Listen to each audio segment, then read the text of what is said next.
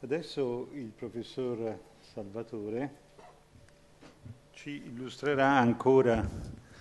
eh, gli aspetti più importanti e generali della genetica predittiva. Just a, just a few words in English to thank very much the English uh, speaking people here, very outstanding scientists which uh, have honored this uh, session. Uh, but uh, since my broken English is worse than that my broken Italian, I would speak in Italian with English slides. Grazie, dottor Giuliani, professore, eh, senatore Danna, per questo invito. Sono molto grato per questa presenza. In realtà un po' cambiato il mio titolo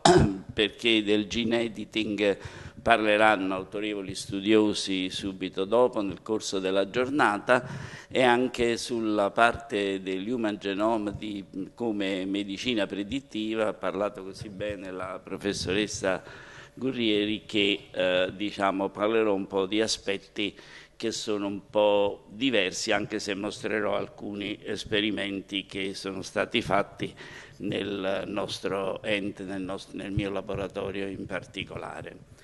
E allora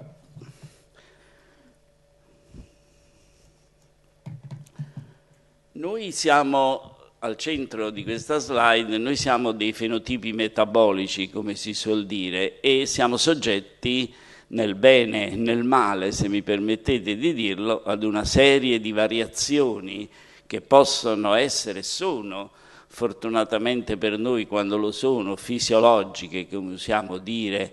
nel linguaggio corrente, oppure invece patologiche quando purtroppo inizia ad esserci una malattia. E vedete quante frecce, sia verdi che rosse, arrivano su questo fenotipo metabolico e sulle sue possibili e poi attuali eh, variations e alcune sono, come suol dirsi, genetiche, cioè ci vengono dal pool di geni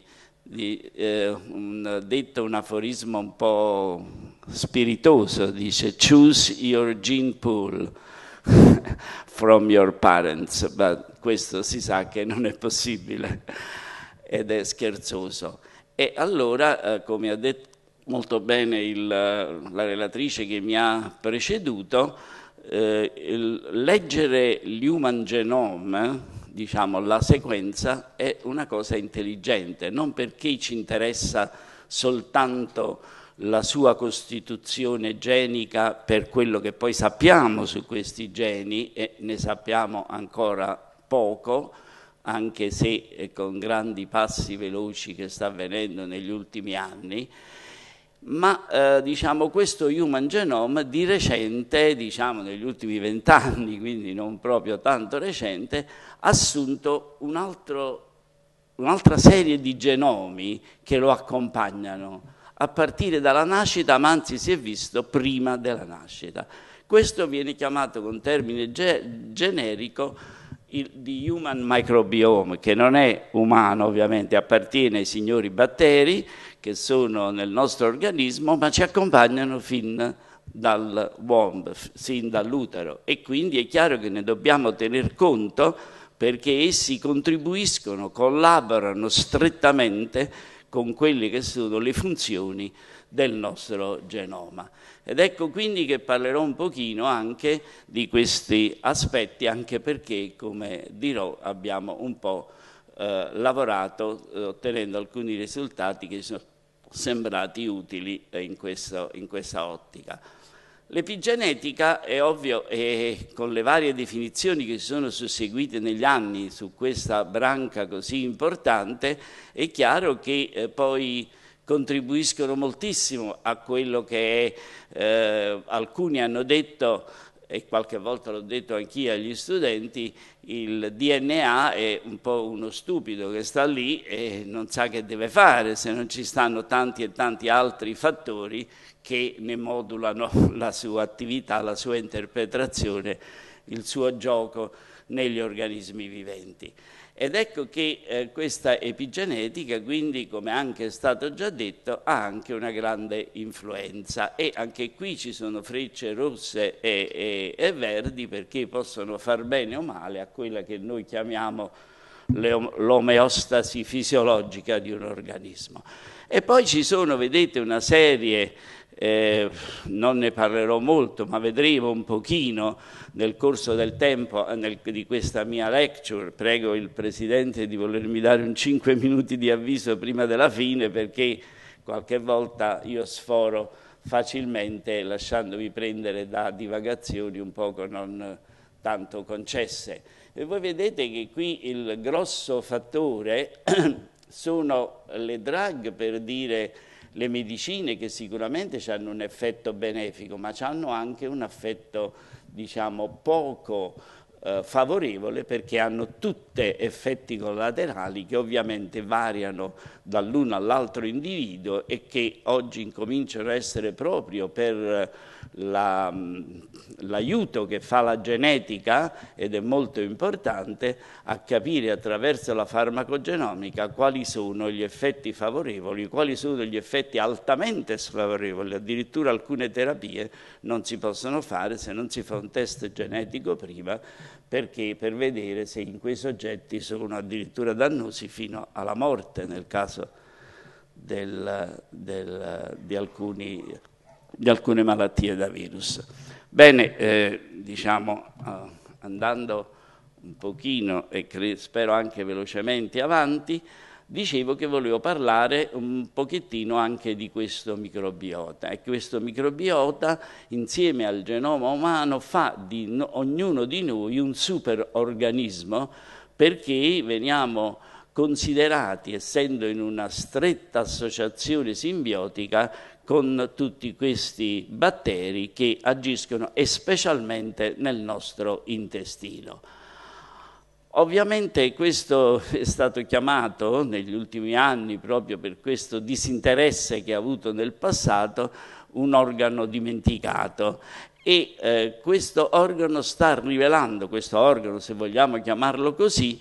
questo insieme di batteri stanno rivelando dei segreti che sono molto utili, molto rilevanti per comprendere alcune delle malattie umane. E anzi si può dire che forse l'eccesso di interesse su questo campo ha prodotto che quasi in tutte le malattie, sia quelle infettive ma sia quelle degenerative fino a quelle neoplastiche, sono interessate dalla presenza o meno di una varietà di microbi che esercitano le loro funzioni. Ci sono funzioni naturalmente importantissime, ecco perché sono dei simbionti e dei commensali molto utili al nostro organismo, perché naturalmente producono sostanze utilissime come vitamine, aminoacidi essenziali, riescono a detossificare dei prodotti dannosi che vengono attraverso la nostra nutrizione ingeriti nel nostro organismo e quindi è chiaro che eh, loro creano nelle migliori condizioni, nelle condizioni che ho detto fisiologiche, un beneficio mutually perché anche loro stanno bene quando, così sembra perlomeno a noi, che stanno bene quando siamo entrambi nelle stesse eh, situazioni. Ora eh, vedete un poco che noi siamo, come ho detto già velocemente, si credeva che noi nascessimo completamente sterile e forse in un certo senso questo è vero perché veniamo subito però colonizzati già attraverso il parto, ma in realtà anche nell'utero si è visto che ci sono i primi segni di presenza di batteri che vengono ovviamente dalla madre. Questo microbiota intestinale, che è, maggiore, è maggiore, la maggiore componente, direi eh, solo il piccolo per cento degli altri microbiota che sono su tutte le mucose aperte all'esterno e su tutta la nostra, la nostra, superficie del nostro organismo, è il maggiore. E, e questo il numero di cellule che batteriche ovviamente che sono presenti nell'intestino sono addirittura di un ordine di grandezze uguali quasi a quelle che si presume che sono state più o meno contate, diciamo non una per una se posso scherzare, che sono 10 alla 13 e, e quindi queste sono addirittura uguali o maggiori. Abbiamo una quantità di taxa che sono dai fila fino alle specie sono una quantità molto grande, nell'ordine di decine di migliaia, e contengono naturalmente una quantità di geni che supera in gran numero quelli che noi consideriamo geni eh, che vanno a, eh, diciamo, a, individuare, a essere template di, di, di proteine e quindi sono addirittura 3,3 milioni di geni. Ora, per quello che riguarda il problema del salto un poco perché diciamo, il tempo scorre, abbiamo eh, diciamo che già nel, eh, nell'utero, nel ventre della mamma, c'è eh, una contaminazione batterica che arriva fino ai tessuti scusate, fetali e quindi questo incomincia a determinare alcune, alcuni meccanismi molecolari cellulari eh, fisiologici o anche talvolta patologici che poi si portano dietro o vengono modificati nel corso ovviamente del, della vita fino all'età eh, anziana. E, eh, uno dei più importanti forse sistemi del nostro organismo il sistema cosiddetto immune neonatale viene molto influenzato dalla presenza di questi batteri che già esistono prima della nascita e quindi hanno importante. Nel, molto più recentemente è stato creato questo termine di oleobionte da un gruppo soprattutto ad Israele, ma che diciamo, eh, dice molto bene che questo che questo, che questo nostro organismo ormai deve essere sempre più considerato come eh, la combinazione del microbioma con il, nostro, con il nostro genoma, perlomeno considerato il genoma come punto di partenza per tutte le modificazioni che avvengono poi successivamente e agisce dal punto di vista anatomico, metabolico e soprattutto immunologico durante lo sviluppo e durante l'evoluzione. Questo ologenoma comprende quindi questo genoma nostro umano, chiamiamolo così, che è altamente conservato, cioè ha una velocità di mutazioni che certamente non sono paragonabili a quelle che avvengono nel microbioma, dove c'è una velocità, un dinamismo in risposta al, all'ambiente esterno molto elevato e soprattutto c'è questa fenomenologia che l'horizontal gene transfer mutation è molto elevato rispetto a quello che succede nel genoma umano. Bene, Abbiamo anche un core, un core che secondo alcuni studiosi, adesso un po' si sta perdendo questo concetto, eh, abbia eh, un core che, che, è uguale o abbastanza simile eh, in uno stesso organismo e addirittura si mantenga nel caso delle generazioni ed è stato misurato appunto eh, diciamo un poco nei resti diciamo, umani anche eh, di molti secoli e di molto tempo fa. E, eh, questa parte che si chiama microbial core sarebbe, diciamo, sopravviverebbe anche ai cambiamenti eh, diciamo così, eh, del, del, del, contorno dell'environment che sono avvenuti durante i secoli e come diceva Darwin non è la più forte delle specie che sopravvive né la più intelligente, ma quella che è più capace di adattarsi ai cambiamenti, della, del, tanto per dare una, ai cambiamenti dell'ambiente. Tanto per dare un esempio di una eh, ricerca che abbiamo fatto qualche anno fa nel nostro eh, laboratorio, è, è, quella di un diciamo un case report per essere più precisi nel morbo di Crohn. In giallo è la situazione della popolazione batterica, qui c'è un indice particolare chiamato indice di Shannon, ma siamo brevi perché il tempo scorre veloce e questo in giallo, vedete, è la situazione del, del pazientino alla diagnosi. Questo aveva 13 anni, questo bambino, e invece il, il verde e il blu sono le eh, concentrazioni vari, dei vari, questi sono i generi se non sbaglio, ma lo stesso è per i filum e per diciamo, le, altri, le altri taxa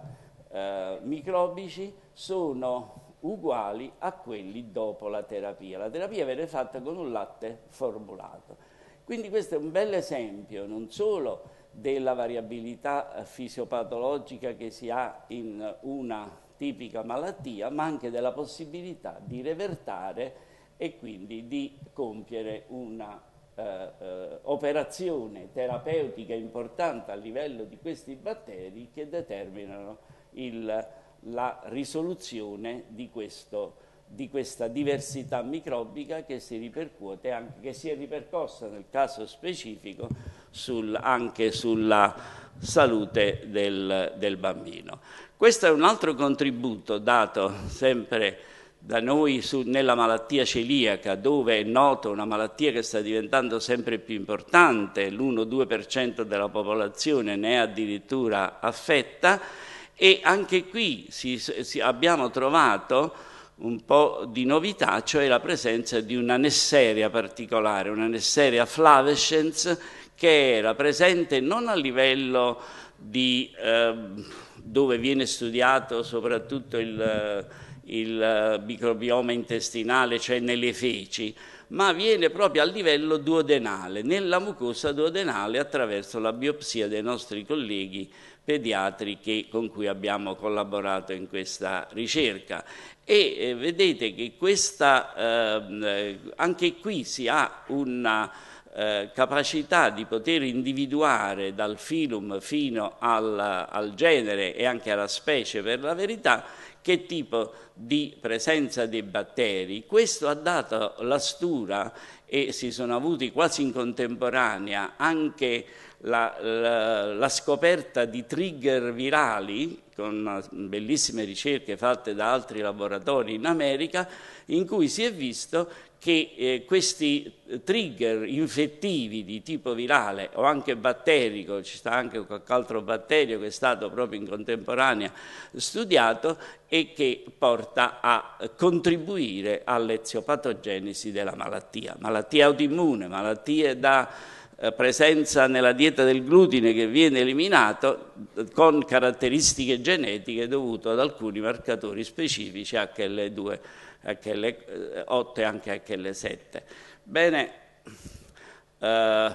vado un po' avanti, questo è stato dimostrato anche nel topo e nell'uomo, questa iperinfiammazione che produce questa nesseria isolata e anche la migrazione a livello dei lisosomi è diversa quando ci sta la nesseria rispetto ad altre ad altri batteri non patogeni e un, anche una specie di specificità è stato possibile dimostrare in un altro lavoro successivo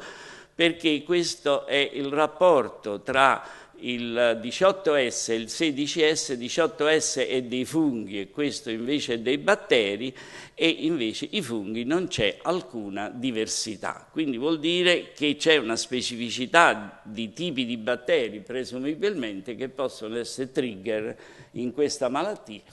e che può portare, eh, speriamo, a qualche risultato anche dal punto di vista terapeutico. La cosa più interessante è ancora la continuazione non ancora pubblicata di questi, di questi ne chiedo venia, diciamo, che eh, dimostra chiaramente come in, eh, nell'orofaringe si trova la stessa nesseria trovata nel duodeno, diciamo, in diversi pazienti, pochi per il momento, quindi questo è naturalmente il problema sempre della quantità dei campioni e del campionamento, in cui si vede come se fosse un tratto unico di infettività che parte addirittura dal loro, dal loro faringe. Uh, questo è sempre gli indici e volevo soltanto dire un po' per uh, così, ho visto in sala che ci sono dei bravi biologi che si occupano in particolare della parte forensica, il microbioma come un tool, già eh, si sa che la biologia forensica dà un grande contributo a tante parti della nostra vita sociale e purtroppo di quella anche non sociale, se posso scherzare, ma l'uso del microbioma è qualcosa di nuovo e come vedete anche questo porta a una geolocalizzazione, quindi si può attraverso eh, diciamo, non prendere il, il, campione della sigaretta toccato da qualche signore e quindi andare a vedere il DNA, ma si può vedere dove è stato negli ultimi tempi attraverso lo studio del microbioma. Perché? Perché il microbioma è abbastanza individualista, cioè l'insieme di queste specie e quindi quasi qualitativa e quantitativa che si riesce a fare anche in, pochi, in poco tempo, riesce attraverso l'uso di, di, un sequencing ad high throughput, quindi di un sequencing basato su, una, su un ribosoma, non l'ho detto prima, ma è chiaro che questa è una base per, tec tecnologica per poter vedere questi batteri, ma è possibile fare una geolocalizzazione del singolo individuo per vedere le sue mosse dove è stata quello che si presume. Quindi è una cosa un po' divertente, ma anche un poco che potrà essere utile alla, alla società.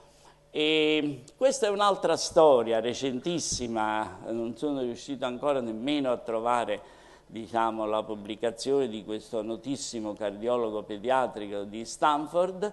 e è un caso simpatico, perché simpatico voglio dire perché ogni cosa nuova porta anche una specie di simpatica osservazionale da, simpatia osservazionale da parte degli altri ricercatori di chi fa ricerca, è un case report dove un infante ha avuto un, proprio appena nato, lo stesso giorno che è nato, diciamo, ha avuto un, qualche minuto ancora, lei la ringrazio di questo avviso, ha avuto un arresto cardiaco lei ha avuto la fortuna di trovare subito un defibrillatore dal da parte del medico perché l'ha aiutata a, diciamo, a defibrillare e quindi a, a vivere bene. L'analisi molecolare fatta nel campione ha trovato subito la mutazione nell'SCN5A gene che eh, non era tuttavia eh, presente, come si è visto dopo, nella famiglia. Nessuna mutazione è stata trovata però in un altro test, questo ha messo in, eh, un po' in dubbio, ma poi la, la cosa è stata ripetuta parecchie volte e quindi la ragazza si è definita che era la bambina, l'infante per meglio dire, che aveva un mosaico di due tipi di cellule nell'interno dello stesso organo e come si è fatto poi a capire questi?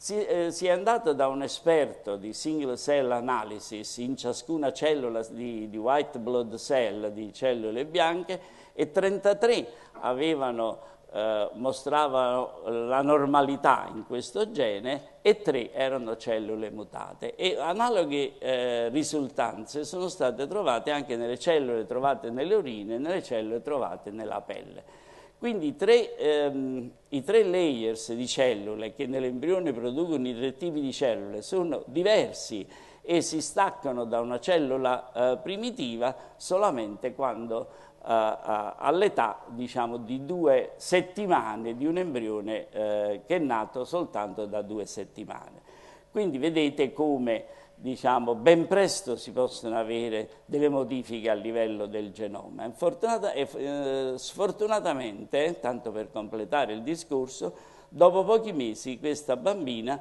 ha avuto un'altra volta un eh, battito irregolare cardiaco, ma il, eh, ha avuto il defibrillatore, ma eh, purtroppo ha avuto un eh, aveva il defibrillatore impiantato, è ben chiaro, e eh, ha avuto un arresto cardiaco e, e lei l'unica cosa che hanno potuto fare per salvarla è ricevere un trapianto cardiaco. Bene,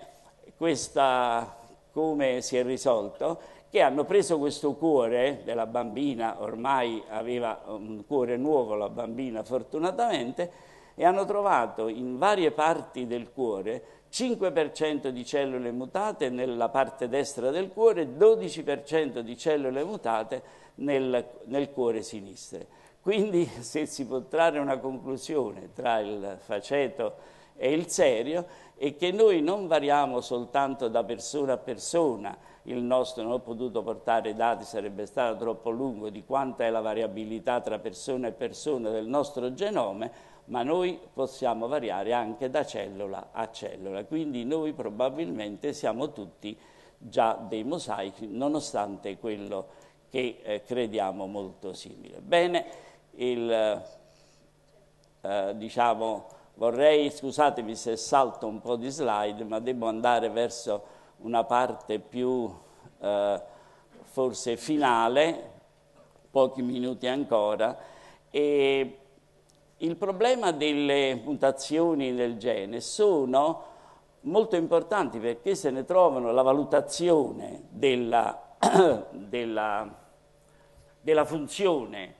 perché esse possono essere patogene, patogeniche, possono essere quasi, ormai c'è una classificazione abbastanza solidificata che viene fatta dalla bioinformatica in silico, ma non è che sia la definitiva, perché purtroppo sono diciamo, eh, sono, eh, abbastanza, sono abbastanza e noi eh, abbiamo eh, per esempio nella nostra casistica molto ele elevata di malattie di diagnosi di malattie genetiche che noi facciamo anche a livello prenatale siamo passati a studiare la funzionalità delle mutazioni, come si fa in tanti laboratori ovviamente, e questa funzionalità abbiamo due eh, attualità che facciamo, sia facciamo, come è stato accennato anche dalla precedente relatrice, fare una serie di pannelli di geni in generale dovuto a malattie che sono confondenti tra di loro. Alcuni li fanno sulla base del prezzo, ma noi siamo più propensi a cercare di farle sulla base delle malattie che sono confondenti. Per esempio nel caso delle malattie cardiovascolari ne abbiamo fatto tre, poi ne abbiamo fatto cinque. Queste sono eh, le tipologie di risultati che sono stati ottenuti, ma io eh, li devo saltare. Eh, qui è stato trovato alcune mutazioni che non erano note, è stato trovato non solo la mutazione, ma è stata anche fatta un elettro, una, scusate, uno splicing, una eh, necessità di capire come, avveniva, come eh, lo splicing produceva un'alterazione del messaggero e quindi della proteina e questo invece è uno studio di elettrofisiologia abbiamo un piccolo laboratorio di elettrofisiologia che eh, ci ha portato a dire per alcune delle mutazioni di canali del potassio e del sodio la loro patogenicità o meno.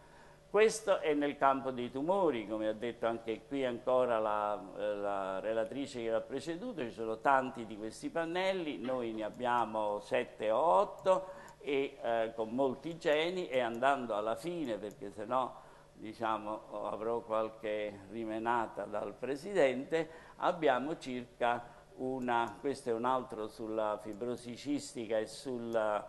diciamo, e sui geni modulatori, perché avendo una grande esperienza, specialmente per merito del professore Cassaldo, del nostro dipartimento, su, del nostro centro su questa malattia, ecco che eh, diciamo, stiamo molto approfondendo, siamo stati i primi a, vedere questi geni modificatori della fibrosi cistica insieme ad altri gruppi internazionali, ma adesso diciamo, stiamo tentando di fare una diagnosi che sia complessiva su tutti i geni modificatori per capire la patologia prevalente dei vari organi e quindi l'attesa di vita. Questo invece è lo studio funzionale di, di alcune mutazioni nuove di BRCA1 e di BRCA2. Scusate che vado un po' velocemente, ma questo porta sempre di più a capire la medicina di precisione che riguarda quella subpopolazione che differisce tra gli uni e gli altri gruppi per la suscettibilità a una particolare malattia. E quindi anche la biologia o la prognosi di queste malattie che loro possono sviluppare si può eh, adattare a certi specifici trattamenti. Io sono un po' contrario alla, eh, diciamo, omonimia, diciamo, diciamo, perdonatemi che dico questo, cioè a usare precisione personalizzata allo stesso modo, tant'è vero che preferisco in generale, per quel che vale questa idea, chiamare medicina individualizzata, perché non deve rivolgersi solo al gruppo, di al gruppo di pazienti che rispondono ad uno stesso farmaco perché hanno una stessa mutazione, come adesso sta incominciando ad avvenire per la fibrosi cistica, che è una cosa molto bella, ma anche per altre malattie e anche nei tumori, per, la, per, indirizzare la terapia dei tumori, ma è molto importante perché eh, diciamo, l'individuo deve essere capito non sulla base della malattia, credo che tutti ne siamo d'accordo, ma deve essere capito e compreso come singolo individuo che può avere tante malattie nel corpo e ognuno di noi è diverso dall'altro, un po' come il genoma. Quindi ecco che credo che sia finita, ma qui sono delle piccole conclusioni che in fondo ho già detto nel corso della mia relazione e spero che possano avere dei momenti di attenzione da parte, sia pur generici e generali, da parte di chi eh, diciamo, studia questa, questa, materia, la genomica e, la sua, e le sue derivazioni. Grazie per l'attenzione.